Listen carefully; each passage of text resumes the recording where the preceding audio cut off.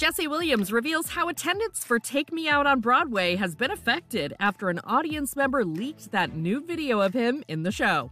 As fans know, the viral clip of Jesse on stage took us and the whole world out when it hit the internet. And in a new interview with The Hollywood Reporter, the actor jokes about the aftermath, telling the outlet the leak, quote, has not affected the performance, but it certainly improved ticket sales. The Grey's Anatomy star also notes that he is still, quote, processing how to feel about the nude leak, which was taken by an audience member despite the theater's no phone policy. He explains, there were things that came out that you can laugh it off. But then also, you think about what actually happened and what it took. You walked in and agreed to put your phones away, and you agreed that you would not film what we were doing. And you violated that. And you didn't just violate it, you violated it and then said, let me put it on the internet for the world. So that's not good.